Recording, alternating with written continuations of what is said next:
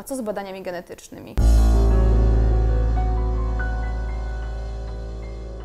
Badania genetyczne, które teraz są y, bardzo modne, pomagają nam stwierdzić przede wszystkim właśnie w tym planowaniu ciąży, jeżeli jesteśmy obciążeni jakimś wywiadem rodzinnym, jeżeli mamy problemy na przykład w rodzinie typu y, zespół Downa, w pokoleniu nawet poprzednim, czy jeszcze, jeszcze dalej, powinniśmy takie badania wykonać. Jeżeli na przykład mówimy też o sprawdzeniu badania, mówimy o badaniach molekularnych, to znaczy mam na myśli takich biologicznych typu HPV. Jest to brodawczak e, e, ludzki.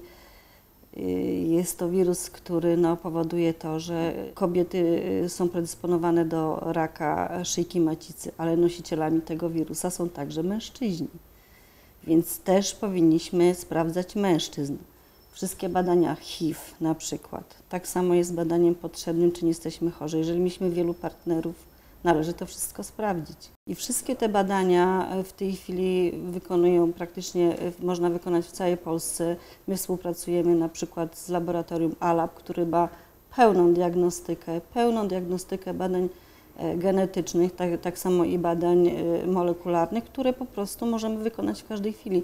Jak już wspomniałam kiedyś wcześniej, E, badania te nie są tanie, ale wydaje mi się, że warto robić je, ponieważ badania genetyczne pozwolą nam na wcześniejsze ustalenie, co, jak możemy przeciwdziałać, co, jak możemy leczyć, czy jesteśmy w stanie coś z tą chorobą, jeżeli ona taka zaistnieje, zrobić.